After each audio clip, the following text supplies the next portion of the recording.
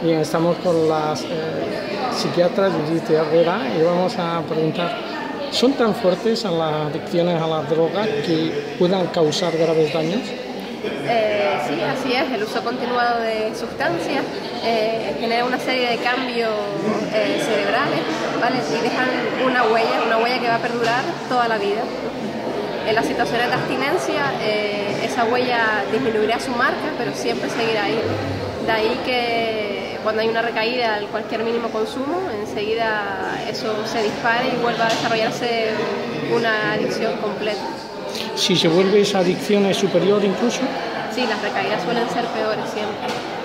Y si hay ese tiempo prolongado a la adicción, ¿en cuánto se podría evaluar? Para poder solapar la huella. Generalmente ya cuando estamos hablando de una adicción continuada de unos seis meses, ya eso está, o sea, ya eso ya ha alterado los sistemas de neurotransmisión cerebral, eso ya ha hecho un efecto ahí. O sea, seis meses para que haga daño.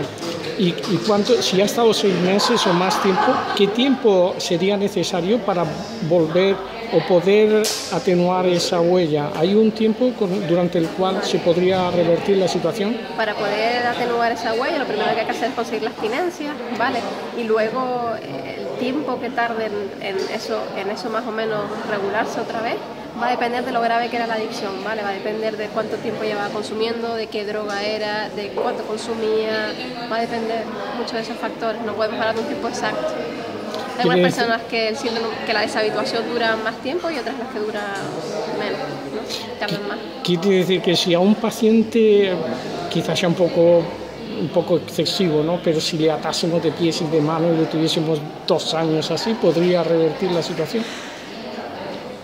como le digo, sí, podría revertir la situación, o sea, la huella disminuiría su marca, pero siempre estaría ahí latente. O sea que una vez que se han tomado estupefacientes, droga, eso ¿De forma continuada? es irreversible, lo más que se puede hacer es atenuar y hacer como si no la tuviese. Hoy en día, por lo que se apuesta es que las enfermedades adictivas ¿vale? son enfermedades crónicas, ¿vale? aunque tú estés abstinente mucho tiempo, tú siempre vas a tener un trastorno adictivo en remisión, ¿vale? Pero siempre es de un trastorno adictivo, ¿vale? Y, eso es por el modelo por el que se aboga hoy en día. Son Bien, crónicas.